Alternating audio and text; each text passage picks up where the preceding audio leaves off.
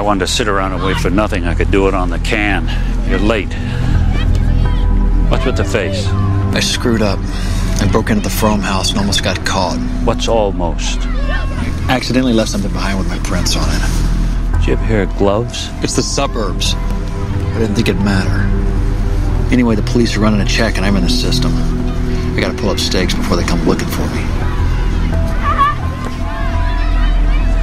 That's a sweet sound. Laughter like that, huh? Pisses me off. If and when your cover is blown, you disappear. Until then, you keep fixing the neighbors' pipes. Well, the more time I spend in this town, the more I think we're making a mistake. These are nice people. My money says one of them isn't. Oh!